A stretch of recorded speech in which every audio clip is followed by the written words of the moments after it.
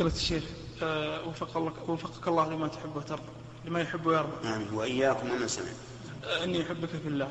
أحبك الله الذي أحببتنا فيه. أنا ساكن آه، في الكويت. عندنا بيت في السعودية. وأجي بس أنا مرة يعني كل سنة مرة تقريبا أقعد فيه تقريبا شهرين.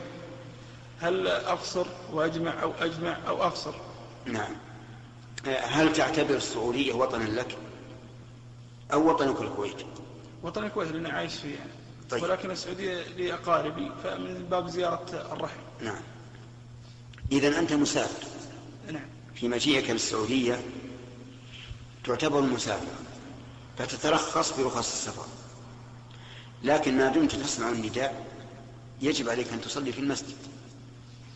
ومعلوم أن, صلى أن من صلى في المسجد فإنه لن يقصر لأن الإمام يتم ومن صلى خلف إمام يتم وجب عليه الإتمام. لكن لو فاتتك الصلاة فلك أن تقصر. فقط بس قصر يعني. قصر. أما الجمع فلا حاجة للجمع لأنك مقيم. وكذلك أيضا لك أن تمسح على الجوربين ثلاثة أيام. لأنك مسافر.